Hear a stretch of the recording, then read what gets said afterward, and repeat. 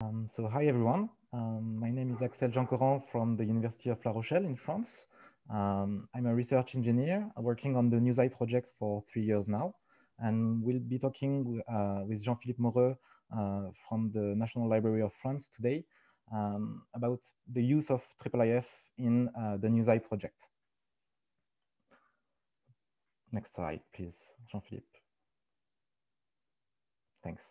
Um, so the NewsEye project is a Horizon 2020 project, um, which started three years ago.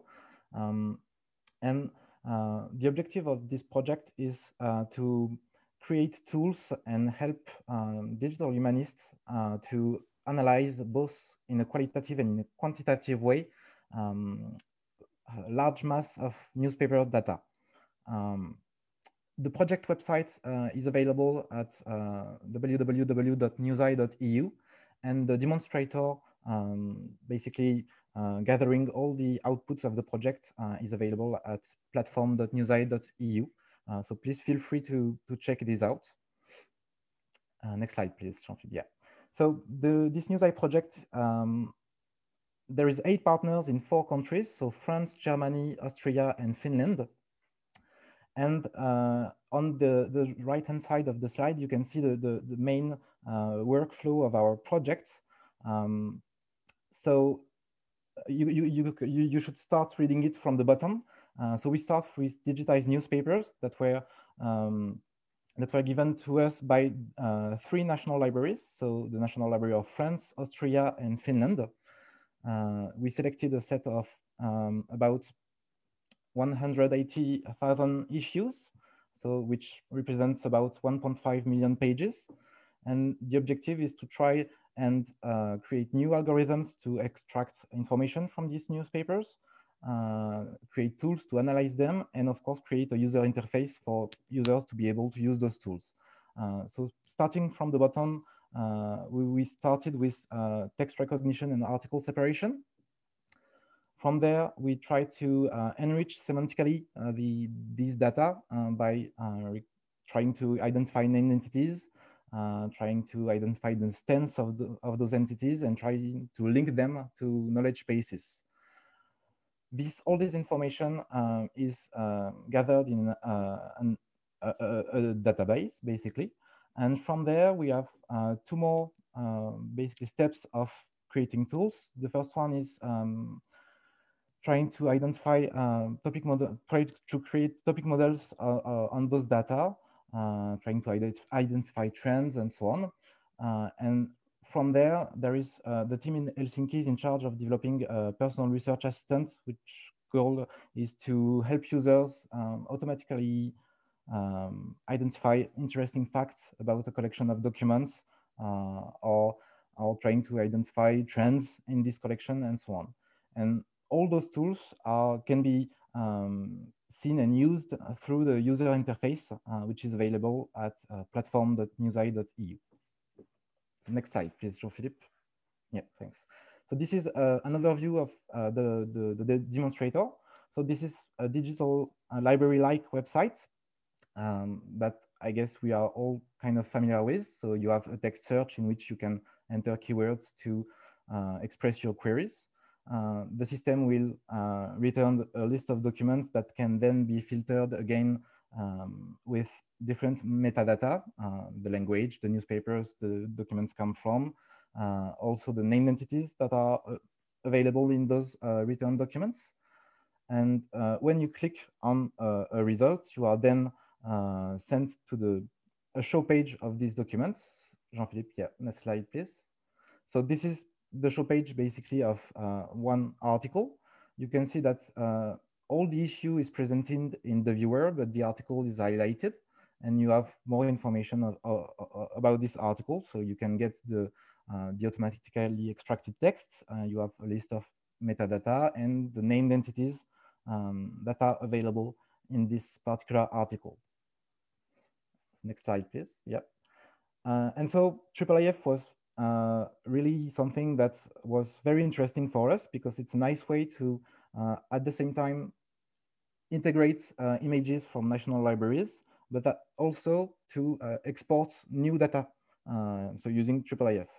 Um, and so in the NewsEye project, we used IIIF as a consumer for the different thumbnails in the research results, but also the viewer on the main show page. All the images are, sto are, stored on the National Library's um, servers, basically, uh, which allows for easily easy integration, basically, uh, of those documents. Uh, but we also use IIIF as a producer um, in several sense. So the first one is that uh, the National Library of Finland uh, does not have the capacity to create a IIIF server now.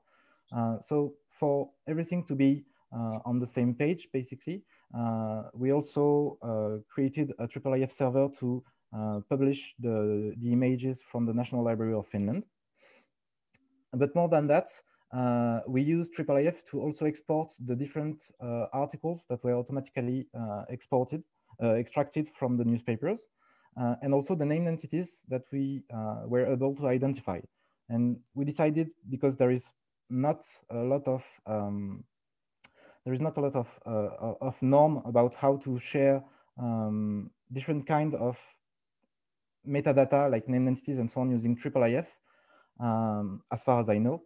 Uh, so right now we just use uh, tags in the presentation API um, to publish these named entities. And I think I will give you the floor, Jean-Philippe. Thank, thank you, Axel. Uh, yeah, so as Axel just explained to us, um, the underwent use of IIIF foster the reuse of data. And to our opinion, institution can disseminate more of metadata. Uh, researchers can share annotation and transcription and institution may even wish to benefit from, from the work of researcher using um, IIIF representation API as an exchange format. Uh, it's uh, the orange arrow in, in, in the diagram. IIIF collection are also a very powerful tool. Um, within the project, national or thematic corpora have been described as IIIF collection, which can be browsed in any IIIF viewer. The same data can be accessed for calculation purposes or reused as dumps or, or dataset. The slide shows the French dataset as a collection open in Mirador 3. Um, as, as an example, this way, anyone can have instant access to, to, the, to the content. Uh, I'm showing uh, the Marie Claire magazine, um, this issue as an example. Uh, so it's instant access. For researcher, uh, the same is true. Um, researcher dataset can be exported from the demonstrator as complete IIIF collection. It's still a, work in progress, but each dataset will include two layers of annotation, one for the whole issue content, another one for the articles, part of a specific research uh, dataset. Now, uh, let's start the last part of our presentation on storytelling for digital humanities. Um, we can say that showcasing digital collection is always a challenge for any researcher who wish to publicize results to the general public. Within the project, Digital Humanities Group has produced content to present the work done with the tools developed by the scientific, computer scientists um, screencast, notebooks, uh, case study description, Twitter feeds, blog posts have been created for different purposes and different user groups. If blog posts are very useful for popularizing research results, the heritage documents they contain are generally only used to complement the text. First, to highlight digital collection, storytelling tools can be a wise option.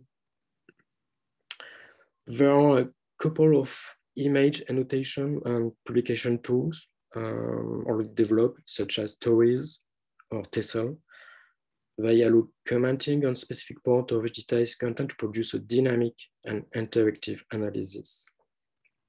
Among these tools, we have chosen to present Exhibit, uh, which is a IIIF storytelling tool developed by Mnemoscene, currently in beta testing and built on top of uh, Universal Viewer.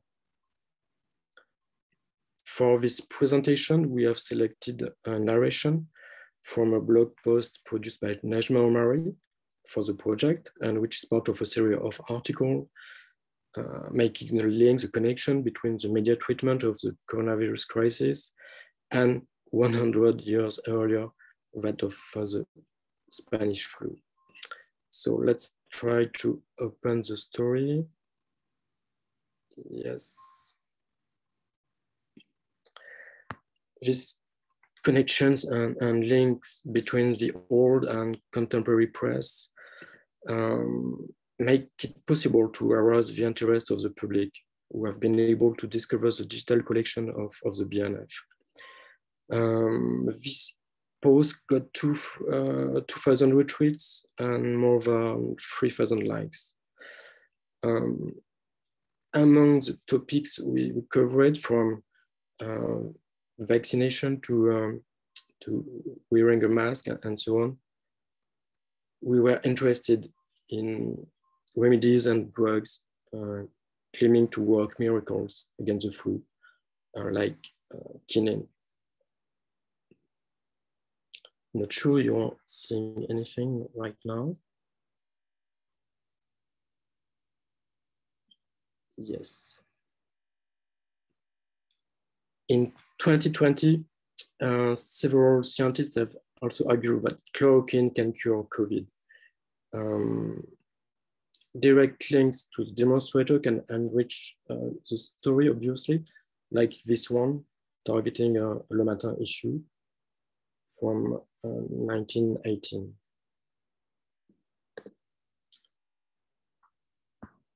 Many advertisements uh, in the daily newspaper were about the merit of drugs, old-fashioned remedies, and therapeutic cures. Uh, this include pink pills, or grip cure, literally the, the flu cure, promising recovery in, in record time. Um, accordingly, brands, some brands really disguise the ads as short stories, beside which they printed medium portraits in order to lend more credibility to, to a claim. On this slide, uh, we have linked our story to a Gallica proof of concept on content-based image retrieval named GallicaPix using a request in a newspaper illustrated ads database. This, by the way, this, this mosaic is also trolley driven.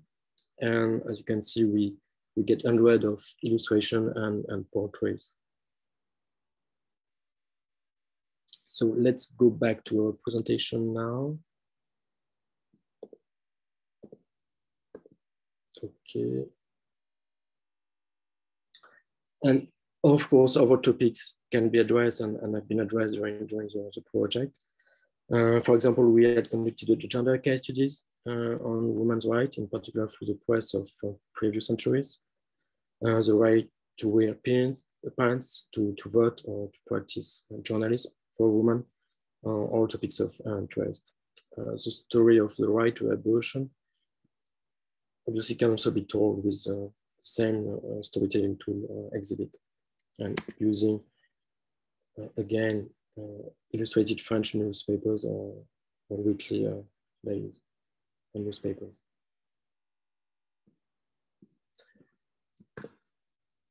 Finally, the, the, tool is also very well suited to uh, explain the, operation on the 19th century press, its organization, or the layout of newspaper.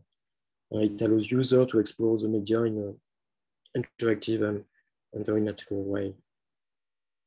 Um, just to show you the our last exhibit uh, story. Um, a typical newspaper layout um, using, again, panning and zooming um, followed by exhibit or Storiiies or any other to storytelling tool. And that's all. Thank you. Thank you again for, for listening. I think we have plenty of room for yep. question.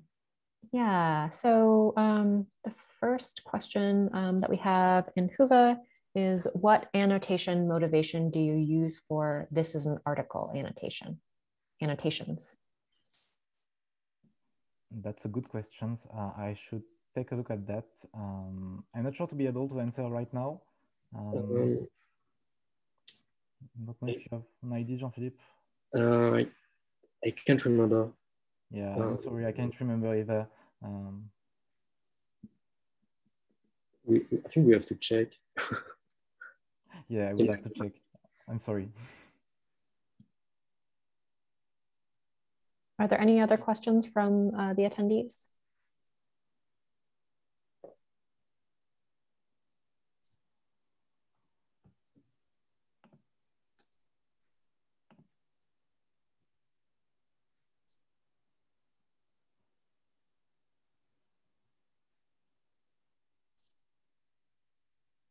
Give folks uh, time to type. And also if you just, I, I believe the attendees have the ability to unmute yourself. So if you wanna unmute and ask, that's fine.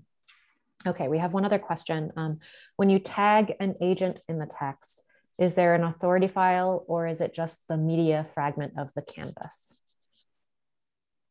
No, it's just the media fragment of the canvas. There is no authority file.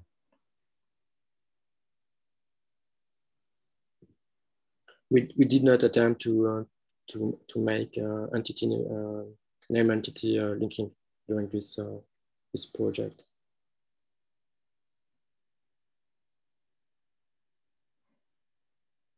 All right, any other questions from folks?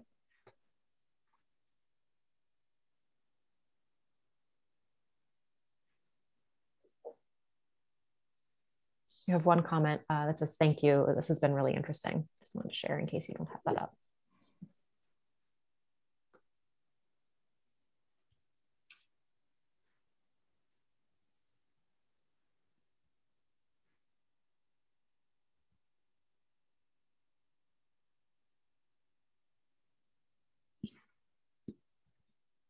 All right, great. So it looks like there aren't any more questions.